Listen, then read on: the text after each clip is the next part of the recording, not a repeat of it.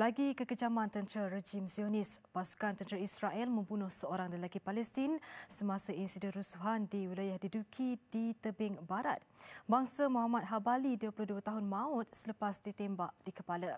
Agensi berita rasmi Palestin Wafa berkata tentera Zionis memasuki bandar Tukam dan menggeledah beberapa rumah sebelum orang ramai berkumpul di kawasan di sana.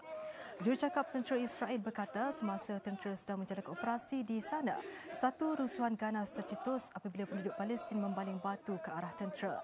Tentera kemudian bertindak balas dengan melepaskan tembakan menggunakan peluru hidup untuk menyuraikan rusuhan itu. Bagaimanapun, rejim Zionis itu tidak menyebut sebarang kecederaan menimpa anggota tenteranya.